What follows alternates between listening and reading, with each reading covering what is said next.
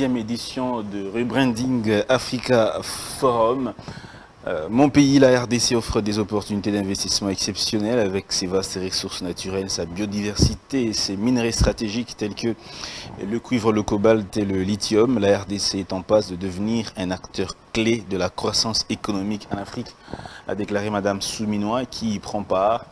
Notons que le Rebranding Africa Forum se tient sous le thème Ensemble construisons l'Afrique et met la RDC à l'honneur pour son rôle dans la lutte contre le changement climatique. Guerre dans l'est de la RDC. Le Rwanda et ses complices sont accusés des crimes imprescriptibles en RDC. Ils seront jugés par la CPI, Cour internationale de justice et la Cour de justice de l'EAC. Le ministre congolais de la communication, porte-parole du gouvernement, rassure les victimes congolaises qu'aucun crime ne sera oublié. Patrick Mouyaya évoque l'activation du front judiciaire lancé par le président Félix dit. Toujours dans le même ordre d'idée, les troupes rwandaises déployées en RCA sont accusées de viol et violences sexuelles. Kigali demande formellement ces accusations. Mesdames et messieurs, parlons des finances en République démocratique du Congo. L'état des finances publiques au Congo représente un scandale national. L'exercice des responsabilités parlementaires a dévoilé des malversations systématiques orchestrées par le ministre des Finances sortant, soulignant l'échec flagrant du ministre de Budget à assurer la transparence et la rigueur budgétaire. Ça, c'est Moïse Katumbi qui écrit cela. Mon regret, c'est d'avoir découvert en Félix Tshisekedi un homme qui n'a pas de parole et qui n'assume jamais ses responsabilités dont le pouvoir est fondé sous l'absolu et l'arbitraire avec un régime jugé le plus corrompu, le plus répressif et le plus enclin à, instrumentaliser la justice. Notre pays n'a jamais été aussi fracturé et aussi blessé. Ça c'est Claudel euh, Loubaya qui se dit être contraint à l'exil actuellement. Les médecins des hôpitaux publics membres du CINAMED sont en grève depuis le mardi 15 octobre dans plusieurs provinces de la RDC. Les secrétaires exécutifs provinciaux de Kinshasa euh, donc, annoncent ces arrêts de travail par le non-respect des engagements pris par le gouvernement concernant l'amélioration de leurs conditions salariales. D'après un médecin interrogé par un confrère, les médecins du secteur public touchent 500 dollars mensuels. Merci, mesdames et messieurs, de nous faire confiance. Bienvenue dans votre émission Grande Tribune. Nous allons nous apaisantir sur d'abord la grève des enseignants et des, et des médecins. Vous le savez, les médecins sont en grève depuis bientôt 5 euh, jours, voire 4 jours. Les enseignants sont en grève depuis le début de la reprise euh, de l'année scolaire. Le 2 septembre dernier, ils n'ont pas repris le chemin de l'école. Ils demandent également l'augmentation de leurs conditions salariales, l'amélioration pardon, de leurs conditions salariales. Ils demandent d'être payés au moins 500 dollars américains. Merci. La tension salariale, on va en parler en République démocratique du Congo, surtout que...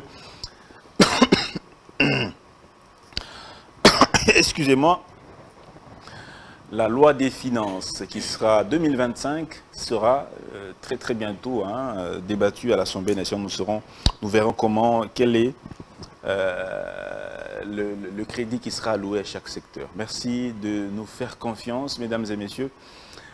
On va aussi aborder quelques questions d'actualité. Nous commençons par Monsieur Larousse Mouya. Bonjour Monsieur Larousse Mouya.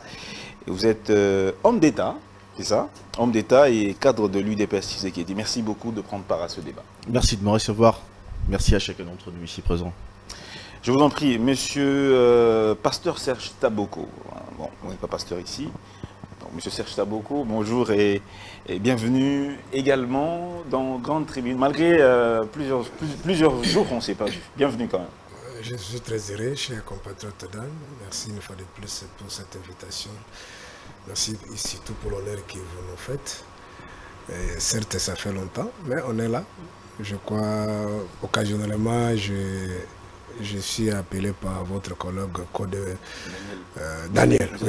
Oui, Daniel. C'est avec lui que nous faisons ces émissions. Sinon, je suis très content de vous voir, c'est en, en forme, en bonne santé. Permettez-moi, comme d'habitude, de dire également merci à Dieu. C'est grâce à lui que nous sommes là. Si ça dépendait que des hommes, on ne serait pas en vie. Nous sommes dans un pays, je crois, si vous essayez de visualiser un peu euh, nos euh, différentes images qu'on a tournées ici, souvent, quand je prends la parole, je dis que tous les indicateurs sont au rouge. Aujourd'hui, je crois... Euh, je profite par la même occasion pour le saluer, notre papa Cardinal Mbongo, il est monté au créneau, il a dit, il est allé même plus loin pour dire que la RDC c'est un état faillite. Je crois, je suis, euh, je suis un homme erré. Donc, euh, ce que nous parlons, ce ne sont pas des propos à l'air, donc nous sommes en train de vivre dans notre pays. Donc, ne fût que même la mobilité ici, les Congolais, nous qui habitons de, de, la partie Est, pour venir ici, je vois que des compatriotes euh, qui marchent de Kingasani à tête pour avoir le transport, il a l'argent dans la poche, les autres pour tourner, essayer seulement de faire. Même aujourd'hui, vous allez voir, prenez votre caméra, les gens qui quittent Gare Centrale ici, ils font des pieds, les autres euh, peut-être attrapent les transports vers le 7e, même 12e mairie. C'est une réalité. Donc, euh, alors même si pour les transports, juste pour enlever nos, immondices ici, entre guillemets, ce qui c'est peut-être autorité, ici, on est toute la planète Terre pour chercher les investisseurs, les partenaires pour venir, ne fût-ce qu'enlever les immondices. Donc c'est sérieux, mon frère, c'est sérieux. Donc nous vivons dans un... C'est vraiment un cauchemar. Je ne pense même pas que l'enfer dont la Bible fait allusion, euh, euh, peut-être c'est mieux qu'ici.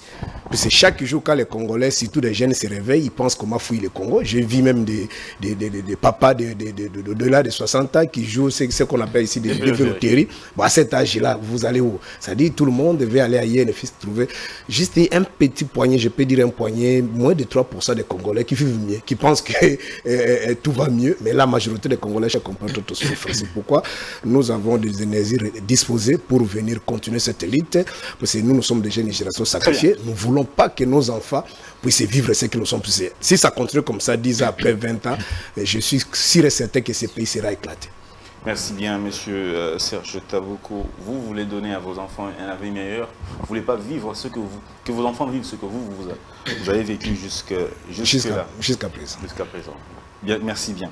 Alors, euh, je donne la parole à monsieur Jano Manyanga. Monsieur Jano Manyanga, il est euh, au MSR. Il est à la Ligue des Jeunes du MSR. Tout à fait. Il est président de, la Ligue des Jeunes. Le MSR, c'est un parti politique membre du Front commun pour le Congo. Effectivement. Bonjour, euh, monsieur Manyanga, et bienvenue dans ce débat. Bienvenue, M. Dan. Bonjour, euh, bon après-midi euh, à, tous les téléspectateurs, selon l'heure à laquelle ils sont en train de nous suivre.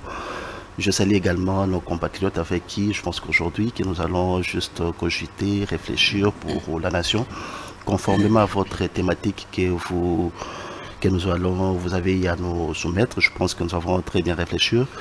Nos salutations vont également le droit à, à nos pères. Vous savez qu'à chaque fois que vous nous accordez l'invitation, nous, nous recevons également euh, l'autorisation de pouvoir participer dans le chaîne de télévision parce que nous nous sommes alignés à nos plateformes politiques et à nos familles politiques. Comme vous venez de le dire, je suis le coordonnateur national de la Ligue, de, de la Ligue des jeunes, du mouvement social pour le renouveau, MCR en sigle, à qui j'en profite pour saluer mes compatriotes, hein, les gens qui m'accompagnent au sein de mon comité.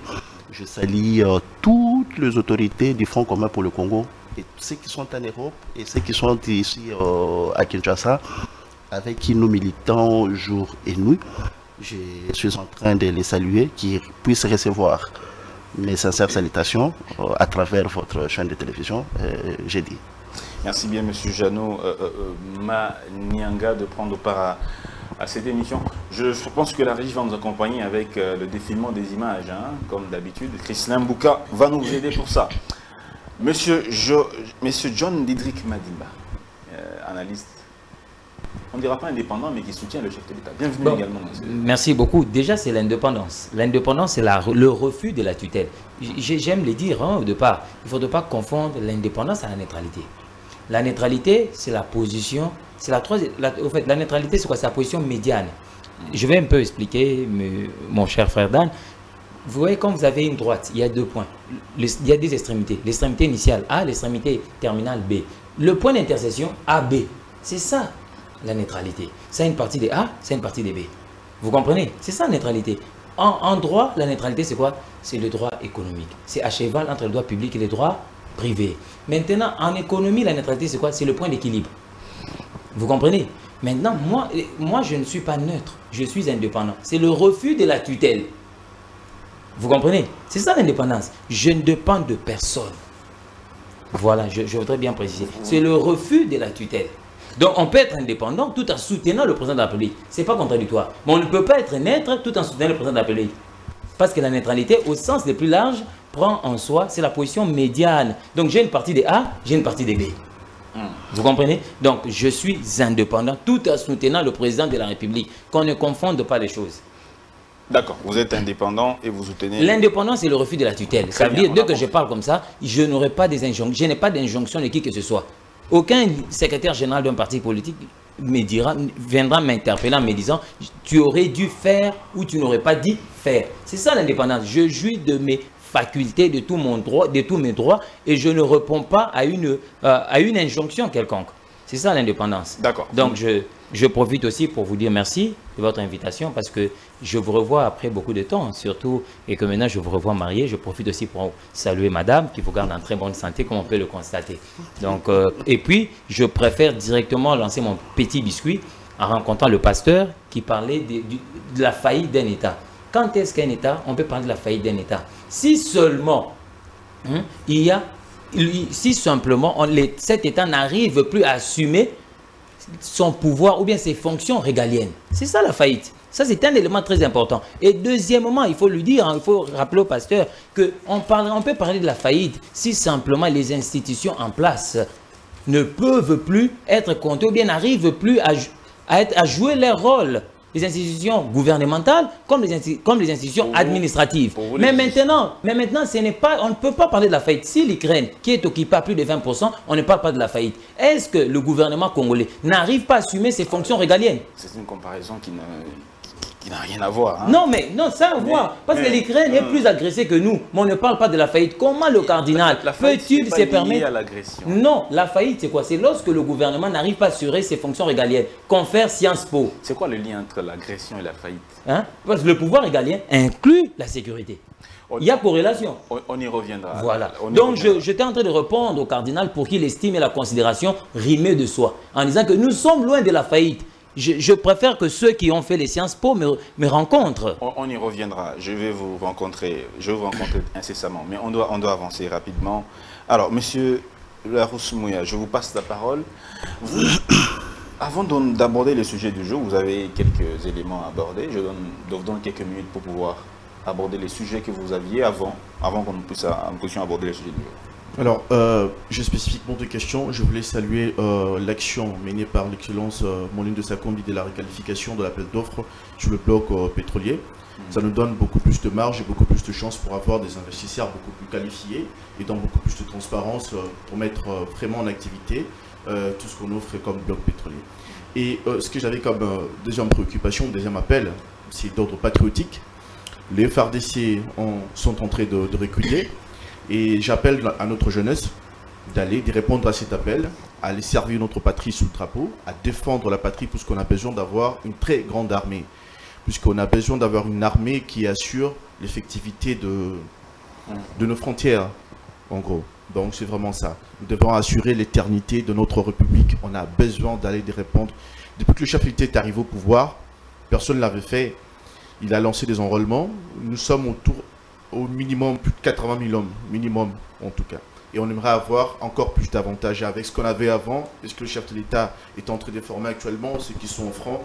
Dans presque toutes les académies internationales à travers le monde ouest-indique, nous avons de jeunes gens congolais qui sont formés au métier de commandement, au métier des armes, au métier de maniement des armes. Et on a de plus en plus des unités de paracommando, des unités d'infanterie, la marine, tout est gardé. On a besoin de renforcer euh, notre nation dans ce domaine-là. Et nous ne pouvons nous défendre que par nous-mêmes. Il n'y aura pas d'autres personnes qui viendront défendre les RDC, a que notre jeunesse, on doit compter sur nous. Donc, j'appelle le jeune Congolais à aller, à s'enrôler massivement pour défendre notre patrie. Donc, euh, c'est ce que j'avais à passer comme appel. Vous êtes euh, à l'UDPS aussi. On ne comprend plus vraiment trop bien ce que vous voulez. Vous voulez le, changement de la Constitution ou la révision constitutionnelle? Parce que les deux, dernières sorties médiatiques de, de M. Kabouya, on ne sait pas trop s'il est toujours secrétaire général, il a dit que le mandat du chef de l'État de 5 ans, il est insuffisant. il faudrait qu'on touche à cela. toucher à ça, si nous sommes dans le changement de la Constitution. Dans la dernière séculaire qu'il a publiée, il parlait de la révision constitutionnelle qui est la volonté du père, euh, patriarche Etienne Tshisekedi. Mais qu'est-ce qu'il voulait exactement? Le changement ou la révision? Alors, je, je, vais commencer par préciser une chose. Le secrétaire général et président intérim de l'UDPS, c'est l'honorable Augustin Kabuya. Il y a quelques jours... Et Bizibou Et lui, c'est... Comment? Vous vous placez où? Je reprécise, mm. le président intérim de l'UDPS, le secrétaire général, c'est l'honorable Augustin Kabouya. Mm. Et pour le reste, euh, chacun son propre procureur. Euh, D'accord. On l'a vu récemment convoquer une réunion avec tous les parlementaires de l'UDPS où on devait décider les animateurs de commission euh, parlementaires et tout. Donc on a mm. vu même le professeur André Mbata être aux côtés de l'honorable Augustin Kabouya. Donc voilà. Et il a fait ses travaux que tout le monde lui reconnaît et tout le monde lui remercie pour ça. Et, pour le reste, moi, en ce qui me concerne, moi, je parlerai d'une révision constitutionnelle de fond en comble. La révision de cette constitution. Elle décadre ni ne convient à notre ambition de grandeur. Pas de changement, hein, juste la révision. Bon, on peut parler de changement pour les uns. Bon, moi, je, parle en ce qui me concerne à mon propre chef. Hein. Pour moi, en tout cas, et je, rencontre euh, spécifiquement le, mot tenu par euh, euh, le président Adolphe Mouzitou, qui dit carrément qu'il faut revoir cette constitution. En mon sens, je, moi je l'ai toujours dit, notre maître à tous, le feu docteur Etienne Tshisekedi, il disait, et on était tous d'accord que cette constitution, une fois accédée au pouvoir, nous devons la refonder des fonds en comble. Enfin, c'est une constitution qui arrive même à déléguer une partie, une portion de notre souveraineté. Mais, tout à l'heure, il y a mon co-débatteur en face qui parlait d'un État faillite. Qu'est-ce que c'est qu'une nation sans souveraineté? Et on a une constitution pareille que certains, à laquelle certains s'accrochent, mais une constitution qui consacre l'abandon d'une portion de votre souveraineté. Mais une nation n'est rien sans sa souveraineté. La souveraineté, elle est totale, pleine et entière, ou elle n'est pas. Donc voilà. Il y a plein de dispositions dans cette constitution qui nous montrent carrément qu'elle n'est cadre spécifiquement pas notre ambition de grandeur. On ne s'est jamais caché quand l'ancien régime euh, l'a promulgué. Et moi, moi encore aujourd'hui, on ne se cache pas pour appeler clairement à sa révision à sa révision et non au changement. Et non au changement. Et donc euh, les nombres de mandats, on n'y touche pas et tout le reste, on reste sur euh, les dispositions qui sont euh, non verrouillées, pas les dispositions verrouillées. Non mais, si, on revoit, il faudra tout revoir. Mais on n'est pas dans une sorte de démarche où on dit qu'il faut revoir la Constitution pour que le chef de l'État, son Excellence Félix Antoine Tshisekedi, puisse rester au pouvoir. Non, mhm. nous on voit quoi? La patrie. Mhm. On a défendu cette nation, même quand les animateurs qui étaient en place n'étaient pas en odeur de santé avec nous. Même quand on était lynchés, même quand on était traqués comme des chiens, on a continué à défendre notre nation. Donc on ne on sera pas le premier à venir saboter tout simplement l'ordre démocratique dans cette nation pour dire on doit conserver le pouvoir ipso facto parce que, parce que, absolument pas. Nous connaissons la force, la détermination qui est la nôtre. Hmm. Mais pendant... Et vous voulez changer la condition et puis laisser le pouvoir? On est dans le cadre politique. Laisser les pouvoirs, ça veut dire quoi? On change la constitution et après, quand le chef de l'État sera parti, quelqu'un d'autre, et nous on arrête de faire la politique. Moi, ce qui me concerne... Euh, le chef de l'État ne se représente pas pour un troisième mandat. Nous menons des combats de conviction. Conviction pourquoi? Puisque nous aimons cette nation. Et puisque nous voulons le changement, puisque nous voulons accompagner cette nation à sa grandeur. Très bien. Donc voilà. Merci bien, monsieur Laos Mouya. Alors, je donne la parole à, euh, à M. Serge Taboko. Je commence directement. Bon, je, je, vais repasser la parole sur la question de la grève des enseignants, mais rapidement en cinq minutes. Qu'est-ce que cela traduit Le fait que, d'une part, les médecins demandent qu'on puisse euh, améliorer leurs conditions salariales, d'autre part, les enseignants également demandent cela. Pour vous, c'est quoi le fond du problème, euh, Monsieur Serge Taboko Merci beaucoup, cher euh, je vais répondre à cette question, mais permettez-moi de rebondir un peu. Je vois euh, un ami trop courageux.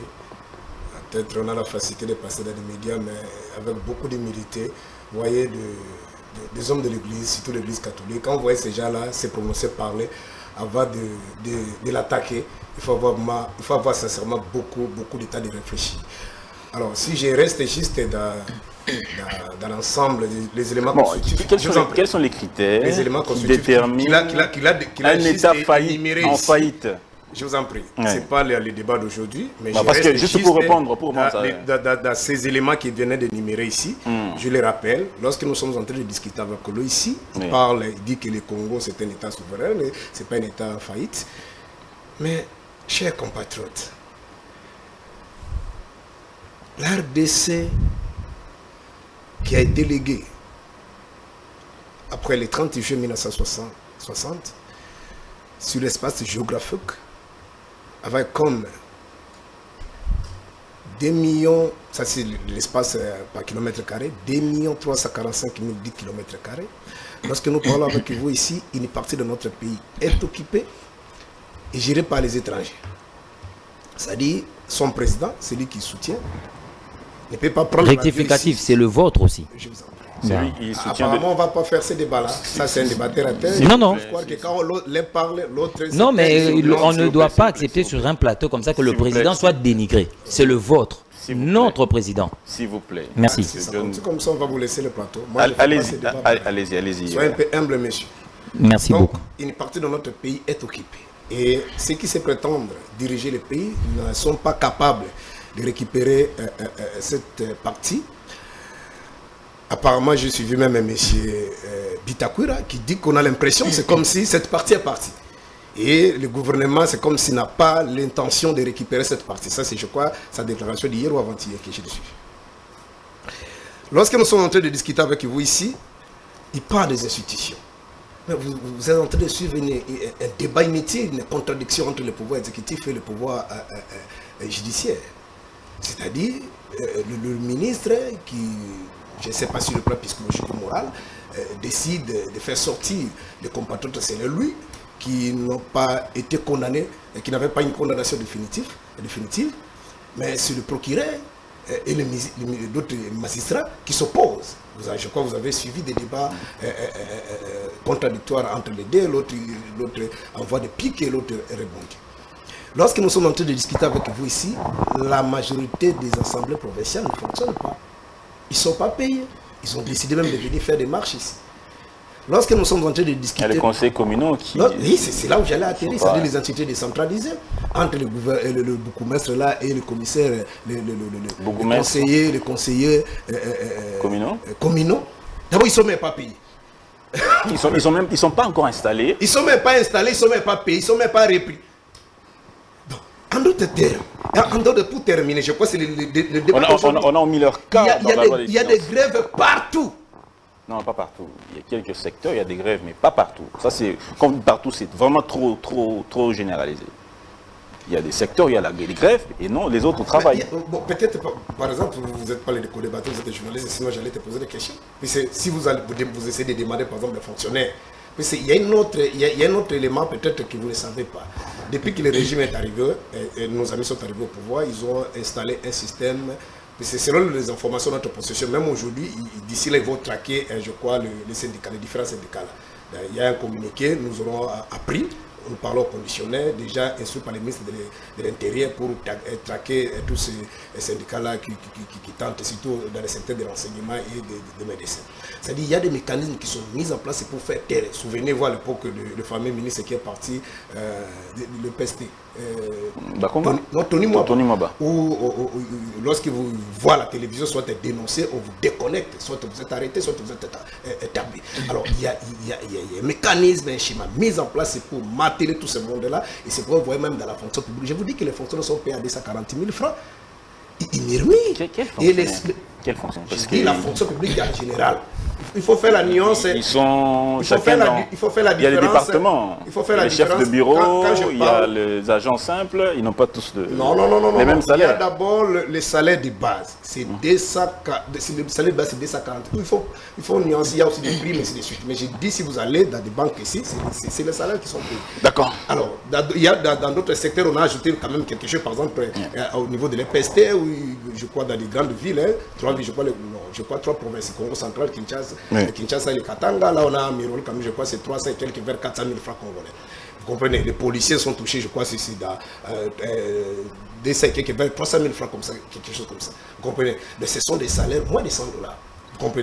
Donc, ça, c'est la vérité. Et la plupart, comme des policiers, des militaires, ils ne peuvent pas, ne peuvent pas euh, euh, manifester parce qu'ils n'ont pas de syndicats. Ça se connaît tout le monde. Je vous dis, si vous avez des secteurs où euh, ça marche, vous pouvez me, citer soit ce qui défait le régime, peuvent euh, nous les énumérer ici. Donc, les, les pays, les- l'État est en faillite. Je ne sais pas, peut-être ils font des illusions, euh, euh, peut-être par le- euh, via lorsqu'ils voient ceux qui sont dans le, le- le- le pouvoir exécutif, comment ils, roulent. Euh, carrosse, je ne sais pas, vous comprenez, soit le pouvoir législatif, vous comprenez Mais à part le pouvoir exécutif et le pouvoir législatif, mais dans d'autres secteurs, oui, selon les informations de notre pos- euh, euh, possession, Possession. euh, euh, euh, je crois que 75% du budget de notre pays est divisé, est géré, soit partagé euh, entre ces, ces deux institutions, le pouvoir exécutif et le pouvoir... euh, On, euh, attend, on attend la loi des finances législatif. 2000, euh, on attend qu'elle soit votée. Comprenez Donc, On- on attend tous les indicateurs sont rouges. Dire que le Congo marche, dire que le Congo est en paix, dire qu'il y a la souveraineté. La souveraineté, mais quatre de nos grands territoires sont occupés. Vous comprenez? Vous êtes incapables d'organiser les élections dans ces territoires-là. Même ici, à, à, à, au Maïndombe, ici, non, le Siapamoto. Mais c'est trois territoires, c'est pas quatre, c'est pas territoire. Je vous dis, trois territoires. il y a Rubero, il y a Massis, il y a Niragongo, il y a euh, euh, euh, l'autre territoire. Rutshuru. Non, Niragongo n'est pas totalement occupé. Il y a juste. Mais quand on dit, on- je Non, ne dis pas que tous les fait- territoires sont totalement occupés. Même lorsqu'on parle, euh, on, on dit que les pays est agressé, même en Ukraine là-bas, on dit que c'est pas que tout l'Ukraine est, est occupé. C'est pas, pas ça. Ça dit les territoires, vous pouvez avoir par exemple 5, euh, euh, euh, euh, euh, euh, 10 000 km. Mais si déjà 5, 000 km est, est occupé, on dit quoi? Les territoires sont occupés Une partie. Je ne sais pas qu'est-ce que vous voulez Oui, dire. bien sûr, le territoire, une partie Une du territoire partie. occupé. Mais Mais lorsque le, le gouvernement n'arrive pas à organiser l'administration, lorsqu'on n'arrive pas à organiser les élections, vous voulez qu'on dise ça dans quel français, dans quelle langue? Mais le pays est occupé. très bien, le pays est occupé. D'autres territoires, si on ne compte pas parce que d'autres territoires sont quand même bien gérés, il y a, il y a- il y a la présence du pouvoir public euh, euh, euh, partout. Merci. Mais dans d'autres coins là, même les administrateurs, même les chefs de sécurité ne peuvent pas arriver là-bas. Merci bien, pasteur. Donc euh, il faut avoir beaucoup d'humilité. Beaucoup d'humilité, ouais. Le pays ne marchait pas, à part peut-être les amis de l'IDPS comme Kabou avait dit.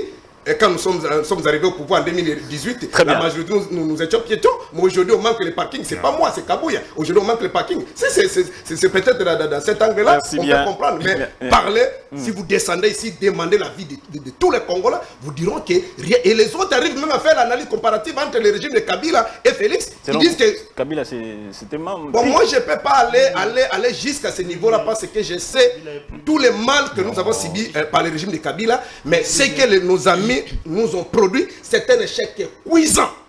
Plus que un- est- Je vous dis que c'est un échec cuisant. Très parce bien. que la manière, on doit être, en dehors de ça, homme de Dieu. On doit dire des choses vraies. Kabila, tout ce qu'on peut dire, il trouve le pays était divisé, je crois, au-delà de quatre blocs. Mais le chef de l'État a demandé. 55% occupé par RCD. L'autre parti, quoi, je vous en prie, per- permettez-moi. L'autre parti occupé par euh, Bemba, partout. Mais le monsieur, bah, entre guillemets, il a tout fait pour euh, euh, réunir ce pays. Mais c'est Félix. À quel prix mais, mais apparemment, c'est ce Soyez calme, soyez calme. Mais vous avez aussi des connaisseurs qui est calme. Merci beaucoup. Non, nous n'est pas bien. Mais si Félix, Félix était. euh, euh, euh, euh, euh, euh, Hmm. Allez-y, allez, écoutez, concluez, concluez. la manière dont Kabila a- a- prend le pouvoir en 2020, pardon, en, en 2001, vous comprenez? ouais. Si c'était notre compatriote Tshisekedi aujourd'hui, je ne sais pas qu'est-ce qu'on allait dire. Parce que Kabila, moi j'ai du mal à parler de Kabila. Mais la, la réalité est là. Merci bien, pasteur Serge Taboko, on vous a compris. Merci bien, je vais vous passer la parole. Le, le- le temps est très court. Euh. Les sécurités nous tuent partout. Alors, Monsieur John Madimba, John Dietrich Madimba, c'est quoi le fond du problème quand il y a grève du- de- à à la fois des enseignants, des médecins? Comment, comment comprendre ça? Je, je dis à ceux qui nous suivent que le médecin, comme les enseignants qui grèvent, ont le droit de gréver. Pourquoi? Parce que nous sommes dans un État qui s'est dit être de droit. Donc, ils ont raison de gréver parce qu'ils se disent, dans un État de droit, la rémunération, ou bien les rémunérations doivent répondre aux besoins. Là, ce n'est pas un problème. Je vais d'abord commencer par rencontrer le pasteur en disant il faudrait ne, ne plus répéter ou bien ne plus employer ce vocabulaire. La RDC est loin de la faillite. La faillite, en d'autres termes, même en sciences économiques, la faillite, c'est la mort. Vous comprenez? Mais maintenant, quand vous faites une analyse comparative, vous dites en 1960, nos pères de l'indépendance nous ont légué la République moitié du à quel état? Je vous rappelle, après quatre mois seulement, les Katanga étaient devenus un autre pays. Moi, je ne souffre pas de l'amnésie sélective. Donc, je me souviens bien de l'histoire. Il ne faudrait pas oublier que le Kassai, chez moi, avec Alonjimou Lopoué, nous étions un autre État, le Sud Kassai. Donc, on ne peut pas faire l'analyse comparative de l'état dans lequel nous sommes aujourd'hui d'une manière par rapport à la superficie et l'état dans lequel nous étions en 1960 après quatre mois d'indépendance. Je vous rappelle que le Katang avec Tchombe, c'était déjà rébellé. C'était grave. le Katang ne faisait plus partie de la RDC. Ce n'était pas le petit Katang aujourd'hui, mais c'était le grand Katang. Trois ans, presque trois ans que. Non, non, je vais y arriver. Je, je, vais y arriver. Maintenant, quand est-ce que. Ça, c'est une faute et une faiblesse. Nous sommes agressés. C'est comme une entreprise qui serait malade, qui a des problèmes au niveau de sa comptabilité, de ses états financiers. Mais la faillite, c'est la mort. La faillite, c'est lorsqu'on n'arrive pas à répondre euh, à nos exigences du point de vue régalien. Est-ce que c'est le cas? Non, nous avons trois territoires. Sur combien? S'il vous plaît, quelles sont Entre autres, la sécurité. Non, non, non. Vous dites qu'on n'arrive plus à répondre aux exigences régaliennes. Entre autres. Quelles sont les exigences auxquelles nous répondons de façon correcte Entre autres, la sécurité, la justice, ainsi de suite. Mais aujourd'hui, ce n'est pas tout le pays qui souffre de l'insécurité. Mais quel est le secteur qui marche Vous avez cité quatre mmh. domaines mmh. régaliens. Mmh. Vous avez la, la sécurité, la justice, la justice nous avons les, voilà. les, finances, ainsi de suite. Alors, dites-nous maintenant, parmi les quatre secteurs régaliens, quel est le secteur qui marche bien que vous... Je, je, vais, je, suis, en train de, je suis en train de vous répondre et répondre au pasteur en disant ceci. Je reconnais tout de même que nous sommes en souffrance, mais ce que je ne veux pas, nous sommes quand même intellectuels. On ne peut pas employer, on ne peut pas employer euh, la faillite, parce que la faillite, c'est la mort. Exemple, quand est-ce qu'on peut parler de la faillite ou bien de la banqueroute quand il s'agit d'un État? Vous comprenez? C'est l'État qui avait connu la Grèce. Mais on est en faillite parce que rien ne marche bien. On n'est pas en faillite. On connaît des problèmes que, les problèmes que peuvent connaître certains États, entre autres les difficultés d'ordre financier aujourd'hui. On connaît un problème au, niveau de la justice. Et puis, quand le pasteur évoque le, conflit qui existe entre la justice, entre le ministère de la justice ou le ministre et le magistrat, ça s'explique. Même quand vous êtes en Hongrie, vous voyez le Premier ministre hongrois s'opposer au gouvernement. Le Premier ministre hongrois va à l'encontre même de l'Union européenne, alors que l'Hongrie est au sein de l'Union européenne et dirige euh, la présidente tournante de l'Union européenne. Donc les contradictions ou la contradiction, ça exprime une fois de plus la démocratie. Maintenant, je veux revenir à la question. Il n'est pas normal de continuer jusqu'au jour d'aujourd'hui de payer un enseignant 381 000 francs. Je rappelle que Joseph Kabila, chef de l'État, avait laissé l'enseignant à 153 000 francs. Je demande à quiconque a des preuves de me démontrer le contraire. Il fallait attendre le président de la République pour qu'un enseignant passe de 153 000 à 381 000 francs. Mais ce que moi je dis, c'est qu'on ne peut pas continuer à n'est pas considéré l'enseignant. Pourquoi je le dis? Parce que l'enseignant est gratifié par une, euh, une indemnité de retraite à 4 millions de francs congolais. Ça, c'est grave. Qu'est-ce que vous voulez dire par là? Je ne peux pas... S'il vous plaît, qu'est-ce que vous voulez dire par là? Quand vous dites que le chef de l'État ou dit, le salaire des enseignants est passé de 153 000 à, 381 vous voulez, nous, vous voulez dire aux Congolais que les conditions des enseignants se sont sensiblement Il y a une volonté manifeste dans le chef du président de la Nous ne parlons pas de la volonté. Non, non. Parlons, permettez-moi de effective. Permettez-moi de répondre. Y a-t-il effectivité dans l'amélioration du traitement Mais vous, vous êtes devant l'évidence. Vous rencontrez l'évidence. On vous parle ici. Je ne suis pas dans un liste statique.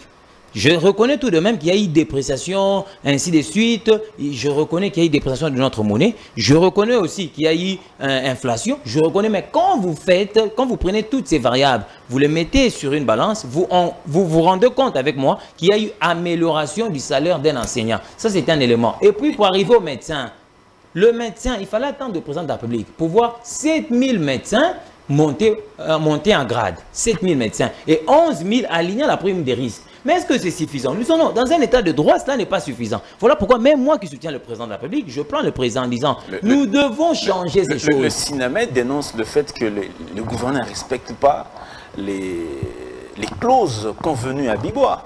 C'est ça que Donc l'amélioration significative.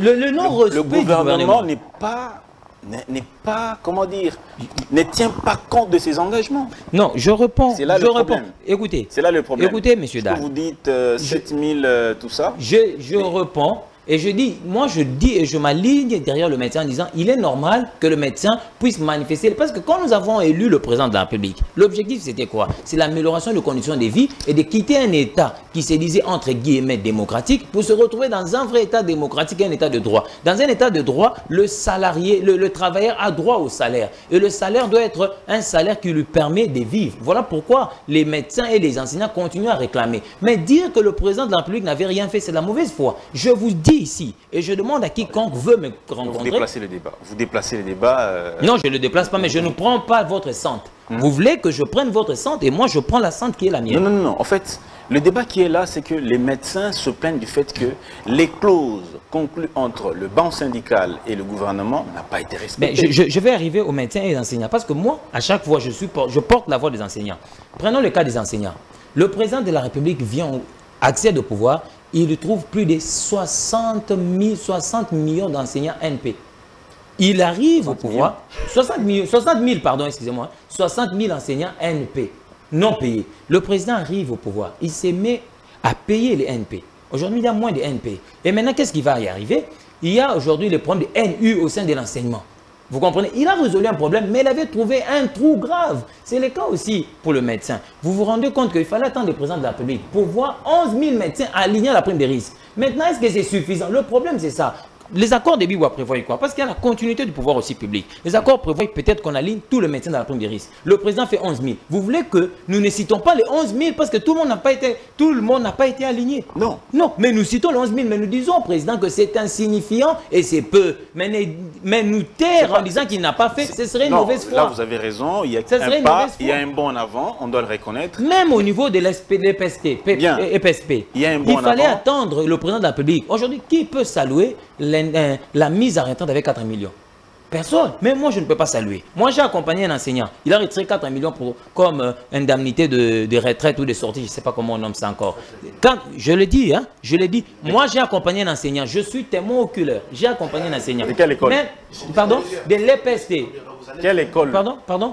Êtes toutes les écoles. Je ne- Non, non, je ne suis pas fier. Écoutez, écoutez, écoutez, écoutez. Da- Monsieur Dan, protégez-moi que je finisse. 4 millions, c'est Protégez-moi que je dollars? finisse. 200 ou... euh, dames, Trois- protégez-moi 300 que je finisse. Allez-y, terminez. Oui, je dis, il fallait attendre le président de la République pour qu'un enseignant qui a 80 ans reçoive cela. Mais nous disons que c'est insignifiant. Le président doit encore mieux faire. Mais est-ce que, est que nous, parce que nous formulons la critique, que nous ne devons pas citer les bienfaits? Non, c'est évident aujourd'hui, il y a peu d'enseignants, NP, parce que le président a eu à payer les NP, mais il y a un grand lot de NU. Comment on peut continuer à être NU jusqu'à présent? Mais ça, ce n'est pas le président. Il hérite d'une situation catastrophique. Il trouve le NU et le NP. Il va payer le NP. Il reste des NU. Et vous voulez toujours trouver le pouce sur la tête d'un chauve. Et vous nous interdisez de citer les bienfaits. C'est une évidence. Très bien. Rencontre-moi devant ces évidences. Très bien. Monsieur Jean Manyanga, quel est le fond du problème quand il y a grève des enseignants et des médecins? C'est quoi le fond du problème? Les fonds, c'est ce que mon frère euh, pasteur vient de dire ici. Ce n'est pas moi qui l'ai dit. Lorsque le prélat catholique relaye ce que nous avons toujours l'habitude de dénoncer, C'est pas parole évangile. c'est une euh, réalité parce que les prélats et les prélats et nous, nous tous, nous vivons au Congo parce que nous sommes des Congolais. Je sais qu'ici, nous sommes dans des débats de concepts. Et chacun va cherche à développer, à se débrouiller selon ses approches, selon ses définitions à lui, selon son école. Nous qui Pardon, pardon. je pense que nous, si nous pouvons quitter les débats, les débats d'approche et les débats de concepts, et restons dans les réels, dans le fondamental. Parce que je prends seulement mon ami à témoin, parce qu'il semble être euh, un scientifique avéré. Je prends seulement Wikipédia qui définit un État en faillite. Si moi je le lis, vous allez dire que nous sommes en train de... Parce que ce sont des choses que nous avons toujours dénoncées plusieurs fois, que le Congo est en faillite. Alors, vous êtes un politologue aussi. Oui, l'État est en faillite. Mais au moins Wikipédia nous permet de pouvoir définir un État en faillite. Je vous donne euh, au moins... Alors, il dit est Les- généralement utilisé pour décrire la situation. Le concept d'État en faillite est généralement utilisé pour décrire la situation d'un État qui se trouve dans l'incapacité d'assumer ses fonctions régaliennes de base. À la suite de l'effondrement total ou partiel de ces institutions gouvernementales. Vous, remontez. Qu'est-ce qu'un État en faillite? Vous remontez. Issu de la science, Non, non. aux sciences politiques. Donnez-moi. donnez-moi La ce source, hein. Wikipédia a bien défini. Et c'est pas ça la RDC. Oui, oui, c'est ça, Wikipédia. Deuxième, deuxième définition, Wikipédia nous explique Qu'est-ce qu'un pays en faillite? Soit une situation de faillite financière Mhm. dans laquelle un État n'est plus en mesure de régler les intérêts de sa dette. Soit un État On défaillant, nous parle d'un secteur. intérêt Là, de sa dette. là, on nous parle d'un secteur, d'une institution qui est en faillite. Lorsque nous disons que l'État est en faillite, et nous constatons qu'il y a des institutions qui sont en faillite aujourd'hui. Tel que? Tel que? Je voulais, je, je m'en vais pour vous parler tel que la situation que nous avons aujourd'hui. Vous avez suivi un débat houlé sur la réduction des comptes 2023 et les budgets rectificatifs 2024. Nous l'avons dénoncé plusieurs fois avec vous ici. Je suis en train de me poser des questions. Nos amis qui sont tous, qui sont ici, qui représentent, qui incarnent le pouvoir, nous avons des monstres qui sont, qui sont à la tête des institutions. Comment expliquer, n'est-ce pas, une institution qui gère les finances de la République démocratique du Congo, qui bafoue la loi des finances dans son exécution. Tout ce que nous recevons comme budget est exécuté conformément à cette loi des finances. Mais nous avons connu dans ce pays un ministre des Finances monstre, fantôme, qui a agi à sa manière, un chef coutumier. Mais nous étions en train de nous poser des questions. Il agissait avec la bénédiction de qui? Mais je sais que la réponse est là. Les ministres des Finances, les ministres des Budgets sont féodés à la présidence de la République.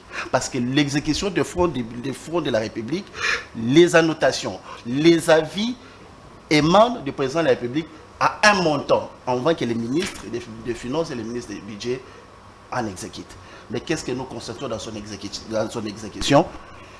Tous les budgets 2023 a été exécuté en mode d'urgence. Non, pas tout le budget. presque la quasi-totalité, le budget en investissement, et les, surtout les budgets en investissement, et les paiements de la dette intérieure. Je sais que plusieurs fois nous avons débattu avec nos amis du pouvoir ici, ils ne comprenaient pas cette matière. Mais comme la matière a été alignée devant le député, les gens au moins qui ont un sens de pouvoir comprendre comment l'État fonctionne, l'actuel ministre est en train de payer les désordres de son prédécesseur qui a été très bien orchestré dans un secteur. C'est ainsi que nous disions que l'État que nous avons aujourd'hui, l'État est en faillite. Lorsque cet État est en faillite dans un secteur donné, pour répondre à d'autres euh, institutions, vous savez que c'est le ministre des Finances, qui paye les enseignants, qui paye, les médecins, qui paye l'ossature des des fonctionnaires de l'État. En, en, de ça, s'ajoute le point de presse de, de la première ministre. J'étais choqué devant cette situation euh, avant que nous les débattions aujourd'hui. Cette émission-là, de Oui, oui, Madame vous l'avez suivi. Madame J'ai passé des nuits blanches pour l'écouter et pour que demain, je puisse l'analyser, mais c'est une occasion. Qu'est-ce que la première ministre dit pour cette question, pour le non-paiement des enseignements. Elle dit ceci. Moi, je suis en train de payer conformément à ce qui est budgétisé. Je ne peux pas aller au-delà de ça. Elle est, elle est la représentante du gouvernement. Et aller dire à la banque syndicale, au lieu de passer dans des chaînes de télévision, qu'ils les fassent comme les autres sont en train de passer au bureau et venir me voir, nous allons les régler euh, à l'amiable. Donc, les salaires de quelqu'un qui a un droit, donc ces derniers, le médecin, ainsi de suite, vont chercher la première ministre pour que leur situation soit traitée à l'amiable. Je suis en train de me dire, est-ce que la ministre, la première ministre et le gouvernement actuel, ils ont un plan de la planification et de l'exécution budgétaire?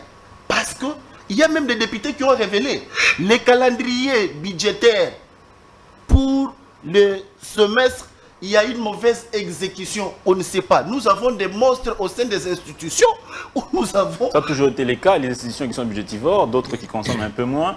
C'est là- Décalage. C'est des déséquilibres là qu'il faut corriger. Il y a eu décalage d'exécution et d'affectation, d'affectation budgétaire. Il y a d'autres secteurs qu'on a, qu'on a c'est- Il y a d'autres secteurs qu'on a mo- amoindris. Il y a d'autres Mais c'est ça qui explique la faillite de l'État, selon vous? Donc, c'est ce que je suis en train de dire. Lorsque l'État est en faillite, comme nous le définissons, comme Wikipédia le définit, il y a des secteurs des institutions. Il y a des institutions majeures, il y a des institutions mineures. Nous prenons la défaillance d'un État, n'est-ce pas, d'une manière, d'une manière euh, déductive d'une part, et nous, nous, nous l'analysons aussi d'une manière inductive d'autre part. C'est ainsi que moi je prie que ce secteur-là, parce que vous l'avez annoncé, voilà.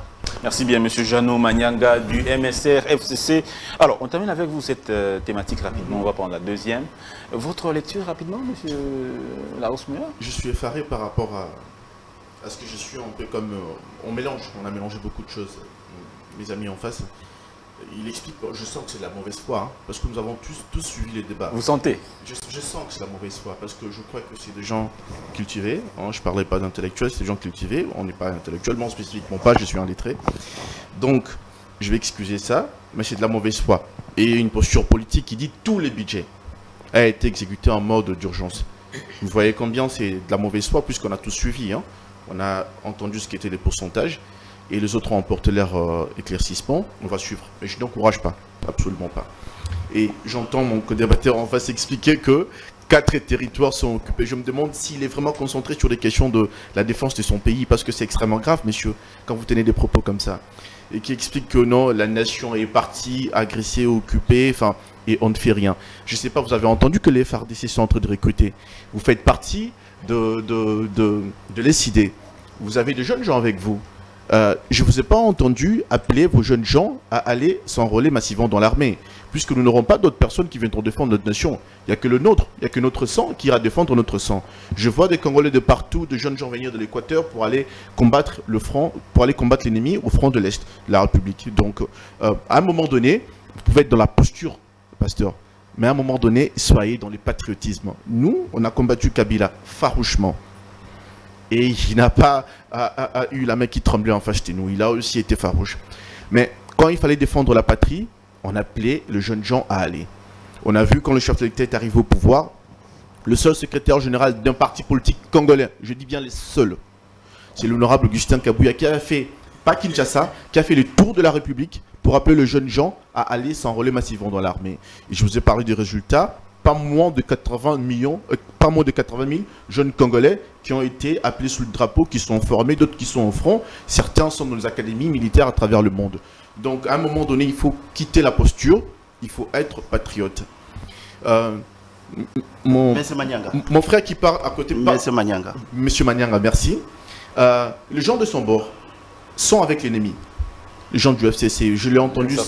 Je, je, je l'ai entendu. On n'a pas de gens qui sont partis, des gens qui n'étaient plus avec nous depuis très longtemps. Certains sont partis aussi. On a, on a, on a, on a le, no, le nôtre. Beaucoup d'ailleurs. Le nôtre. Le non, nôtre, beaucoup d'ailleurs. Le nôtre. Le nôtre. Je, beaucoup d'ailleurs. Je vous en défi de me citer de noms. Oui, oui, je vais te citer. Citez-moi les noms et euh, ceux qui sont en train de nous suivre feront litière. Oui, Donc, je vais, je vais vous en citer les noms. Même quand euh, euh, la dictature euh, qui nous a précédés était beaucoup plus féroce, on n'a jamais pris les armes pour combattre la République. Jamais au, grand jamais.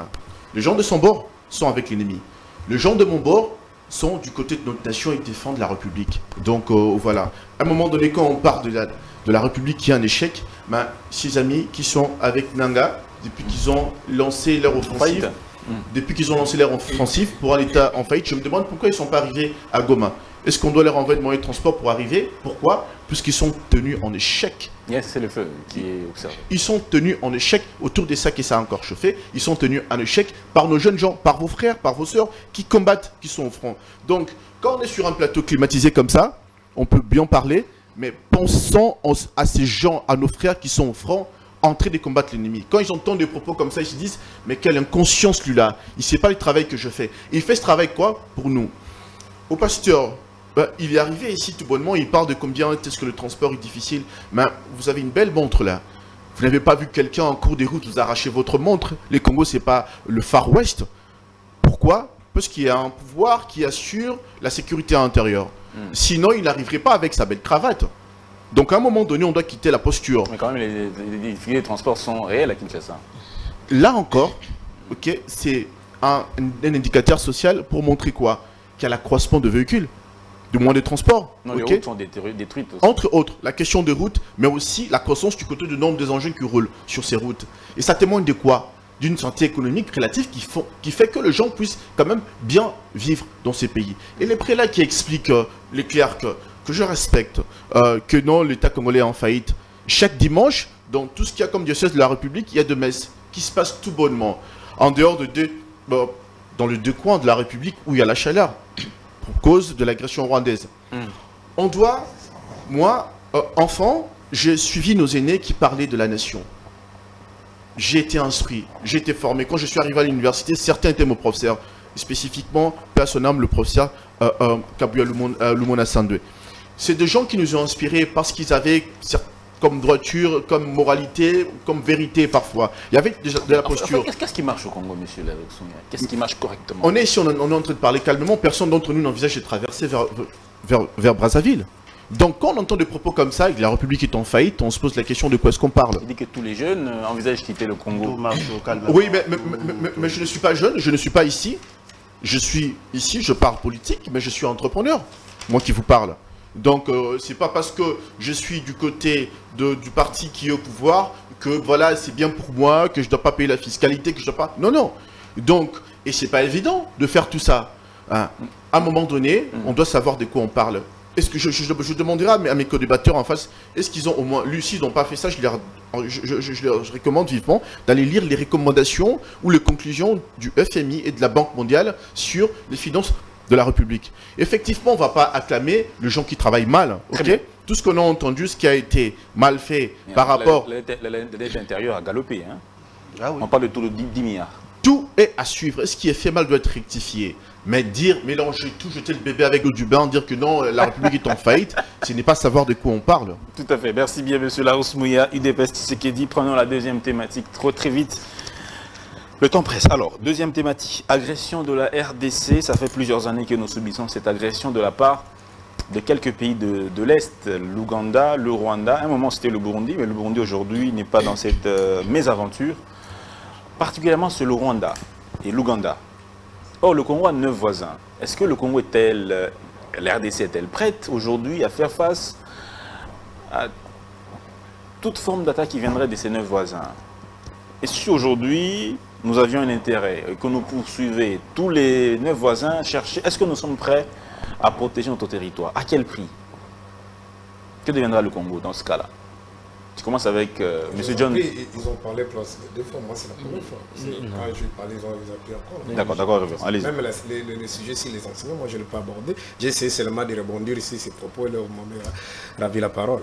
Euh, d'abord, euh, ce matin, si j'ai essayé de parler pour ne plus oublier, j'ai essayé de parler avec quelques enseignants, surtout en particulier le, syndicat.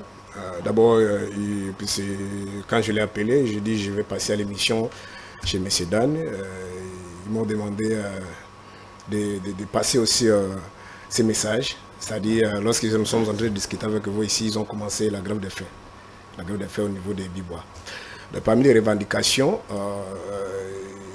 il faut noter que, comme vous avez dit tantôt ici, le non-respect des engagements pris par le gouvernement, notamment la prime de risque, euh, la prime de bourse. C'est-à-dire ici, la prime de bourse ici, on fait allusion, ils veulent que euh, ceux qui travaillent dans les milieux euh, puissent avoir un peu un, salaire équilibré pour, ne, pour décourager. Parce qu'aujourd'hui, si vous envoyez un médecin dans un milieu rural, il ne veut pas. Pas. tout le monde préfère venir ici. Alors ça a été traité avec demandé pour que le gouvernement puisse tenir compte de ça, malheureusement. Il parle aussi de reconnaissance des grades, respect de, des barèmes salariales, ça c'est, comme vous avez déjà dit, la mécanisation, euh, ainsi de suite. Il y a un peu tant, tant de revendications, mais néanmoins l'essentiel c'est ça. Alors, euh, ils ont commencé la grève de faim. Ils disent euh, que si le gouvernement ne répond pas, je crois, pour, surtout ici pour le secteur des médecins, ils ont déjà déclenché, euh, déclenché pardon, la grève, euh, euh, le service minimum. Je crois qu'ils vont aller dans la vitesse supérieure. Il y a des malades, on a vu des, reportages, des malades sortis dans le couloir des hôpitaux ils, vont, refusé de, de, soigner. Est-ce qu'on peut pas être patriote quand même? Ça dit vont chasser, ça dit hôpital sans médecin. Je crois que ça c'est le message qu'ils m'ont passé et de passer ça à la télévision. Bon, euh, j'ai entendu, avant de répondre à cette question, surtout c'est une question un peu euh, très sensible, c'est une question qui touche la sécurité de notre pays, mais permettez-moi de ramasser un peu entre guillemets, avec beaucoup d'humilité, quelques incantations colibées que j'ai entendues ici. D'abord, mon ami ici qui vient parler de montres ici, il ne sait pas euh, si quelqu'un m'a offert, alors il vient ici par des problèmes de montres. Euh, lorsqu'il va prendre, il va récupérer la parole, pose, qu'il puisse nous dire, dire aux Congolais, avant 2018, quel est le nombre de, jeunes entrepreneurs de l'IDPS, même deux, trois, les. Parce qu'aujourd'hui, il parle, il est entrepreneur, de un jeune de l'IDPS, mais il est entrepreneur. En 2018, avant 2018, les jeunes entrepreneurs de l'IDPS, ah, qui va me citer même deux, trois. Alors, euh, permettez-moi, permettez-moi quand l'ami fait la confusion, fait la confusion de l'histoire politique du pays, il dit, juste après l'indépendance, le pays est éclaté. Ici, nous parlons de l'agression. Le pays est occupé par des pays étrangers. Ce qui est arrivé après l'indépendance, c'était juste le même contentement, ce qui se passe, c'est l'arrêté de notre pays.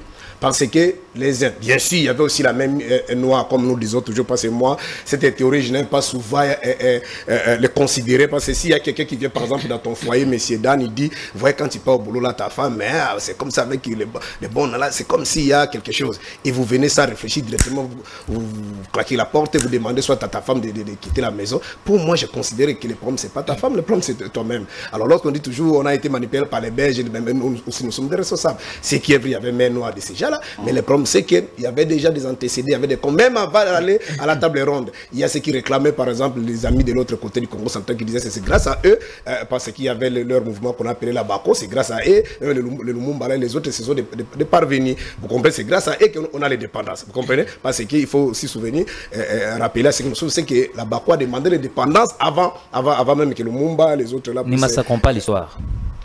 Monsieur, c'est comme ça, là, je ne suis, pas, je suis pas vraiment euh, très à l'aise quand je, fais les débats avec toi. Tu as aussi un, un, un, ami qui a Je vous laisse parler, mais, monsieur. je vous laisse parler, mais, vous massacrez Ce sont des bêtises, comme ça, prochainement, c'est comme s'il ne faut pas appeler, avec lui. Pas de problème. Tu es trop, trop gay comme ça, pourquoi, monsieur Nous sommes à la télévision, il y a quand même des gens qui nous regardent. Je vous laisse parler. Donc, il y avait un peu de, de, de, de dissensation entre eux. Et c'est pourquoi les autres, comme on dit, le, Belge manipulé Tchomé, il a dit il fait la sécession, Moulopé va faire la sécession, le, le Moulé, partout. En réalité, le problème, c'était d'abord congolais. Vous comprenez ici la nuance. Mais aujourd'hui, depuis 1996, le pays est agressé par des Rwandais, des Ougandais, des Burundais qui gèrent notre pays. En complicité par des de, fils maison, c'est-à-dire des Congolais.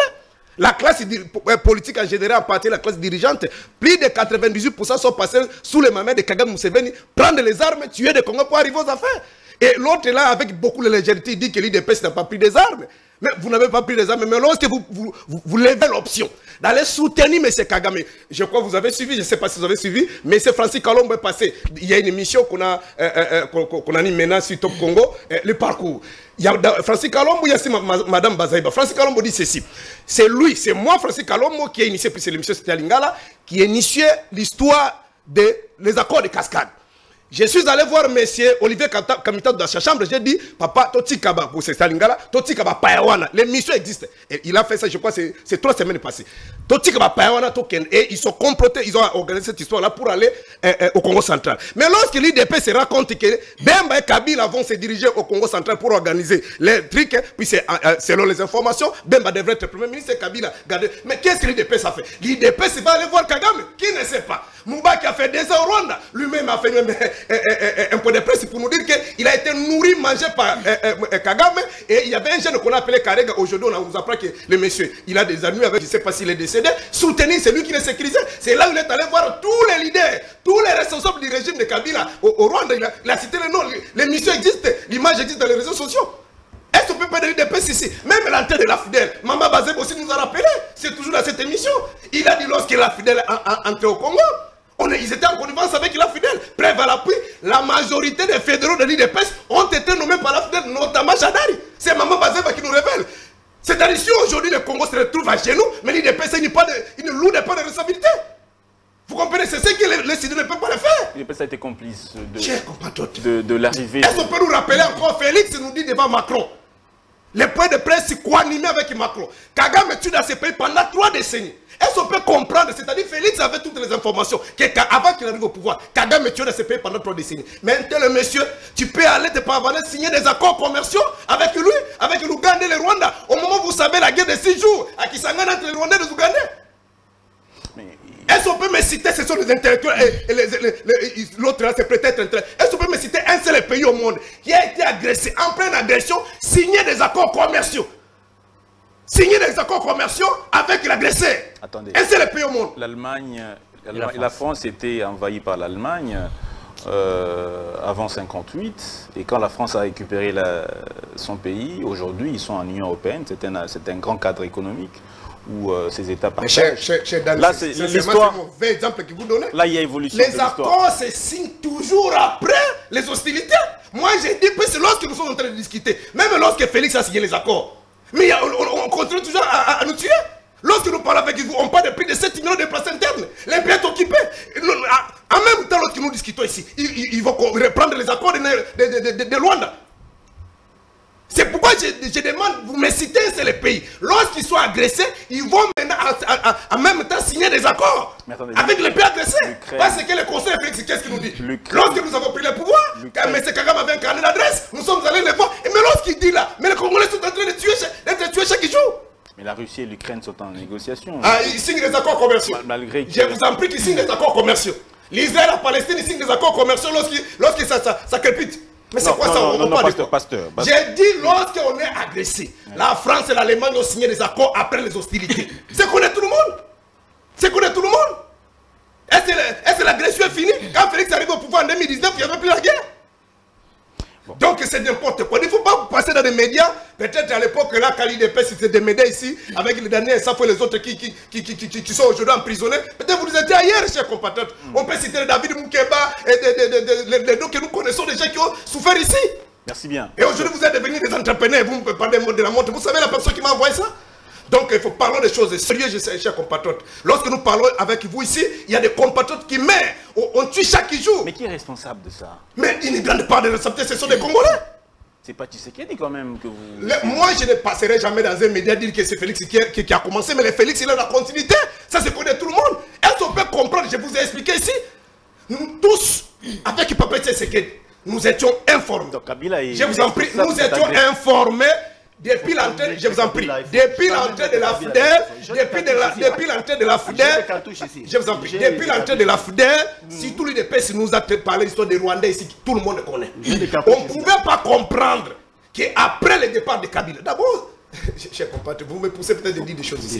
Donc permettez-moi de, de- de- de- de se limiter là-bas. C'est-à-dire nous avons une lourde part de responsabilité. Les accords ambigus flous que nous signons ici, c'est tout ce qui nous amène aujourd'hui dans ce que nous voyons aujourd'hui. Et lorsqu'il balance un truc, là, peut-être, je, je- je- je vais rebondir et, et terminer par là dans, dans- dans 30 secondes, il dit euh, euh, une constitution, oh, on- il y a une disposition qu'on doit euh, euh, euh, abandonner notre... Mais, ça, c'est- l'intellectuel, ça c'est quel raisonnement c'est ça le que nous avons D'abord, dans toutes les constitutions du monde, la majorité, la la constitution est béninoise, même la constitution sénégalaise dans, dans son article 96.